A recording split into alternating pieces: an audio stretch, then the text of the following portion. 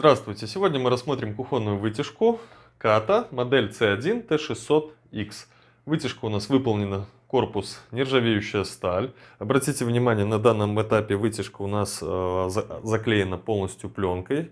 Ее мы снимаем после того, как установим вытяжку непосредственно к ящику. Далее давайте рассмотрим габаритные размеры. Ширина вытяжки 595 миллиметров. В глубину вытяжка будет у нас уходить на 480 мм. И ширина, вернее высота корпуса 100 мм. Спереди вытяжки мы видим механическое управление, три скорости, кнопка включения света. Давайте послушаем, как вытяжка работает у нас на первой скорости. На первой скорости вытяжка работает очень тихо. Вторая.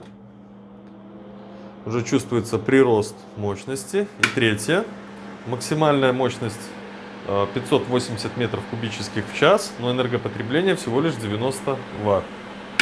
Что по свету у нас посмотрим. Свет у нас э, теплый белый, э, стоит лампа патрон E14 мощностью 40 ватт. Можете с легкостью заменить ее на светодиодную по желанию. Вытяжка у нас может работать в двух режимах. В режиме отвода в стену, либо в режиме рециркуляции.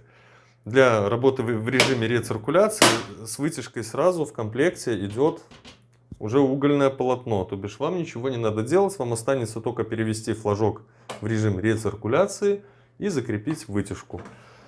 Но прежде чем закрепить вытяжку, в комплекте идет заглушка, которую вам понадобится поставить сзади. Тогда у вас выход воздуха будет уже выходить вперед. Также у вытяжки есть два варианта крепления.